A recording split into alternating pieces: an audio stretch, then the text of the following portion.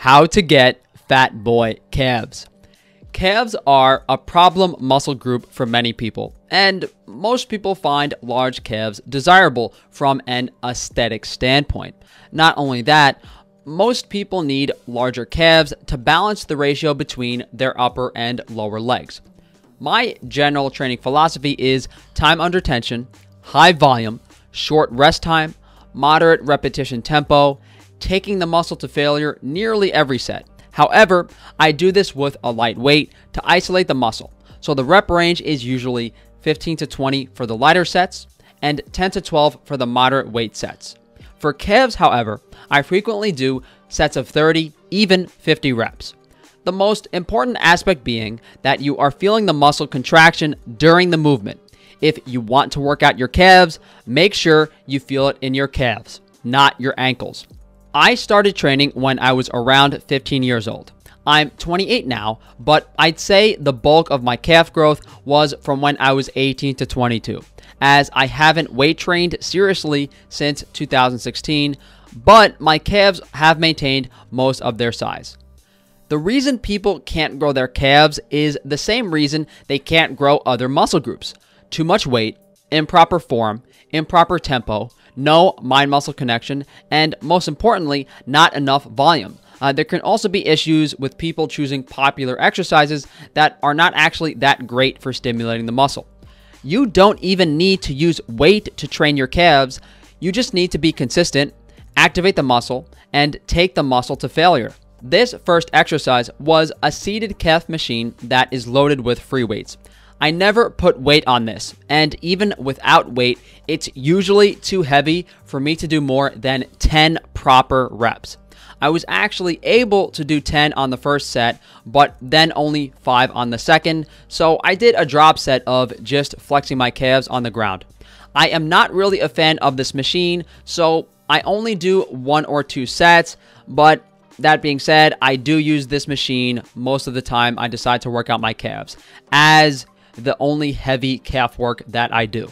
The next is a seated calf machine, and this can be really difficult to get the seating position correct, again, using a very light weight, maybe 20 or 30 pounds. I messed around with my foot positioning as well, going narrow as well as wide to isolate different parts of the calf muscle. This is probably the only machine I don't really use for calves as I am never able to take the muscle to failure effectively. It overworks my tendons. Uh, you guys can try this out.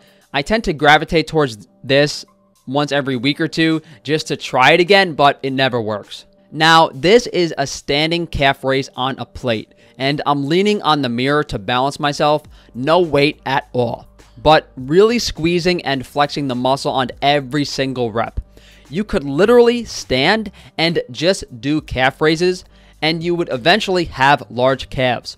Adding the plate and creating distance to the floor allows the full stretch and contraction of the muscle. I also like doing this on a hack squat machine. In this case, I was using an incline bench press. You can really get a nice stretch off of any elevated platform. Here, I messed around with my feet positioning again allowing myself to do more repetitions, as well as take different parts of the muscle to failure. And who doesn't want some asshole doing calf raises on their bench press? I don't usually do leg press calf raises because the machine is often taken, but sometimes I will. I never use weight on this, just the sled. Initially, I had my legs bent, which allows me to flex the muscle more. Then I straightened out my legs, which makes the calves stretch more I also did a few reps flat footed on the sledge to really take the muscle to failure. The routine I actually did every day I was in the gym was one or two sets of the free weight calf machine. Then I would do standing calf raises on some type of elevated platform, whether it's a hack squat platform or even the back of a bench press.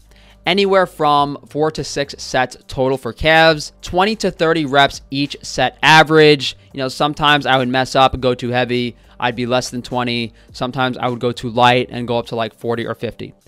If you did this routine properly several times per week, you will have large calves in one to one and a half years.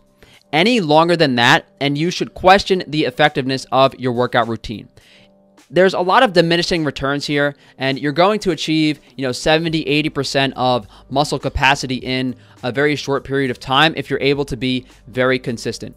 So thank you guys for joining me. If you could please like the video subscribe hit that bell icon share the video if you can you guys would like to support me further, definitely check out Frankie's Free Range Meat, providing you with the highest quality, nutrient dense animal foods at an affordable price. You can also check out frankiesnaturals.com, minimal ingredients, minimally processed hygiene and cosmetic products. If you guys would like to reach out to me for one-on-one consultations pertaining to health or fitness, you can send me an email, franka at gmail.com. Everything is linked down in the comments, guys.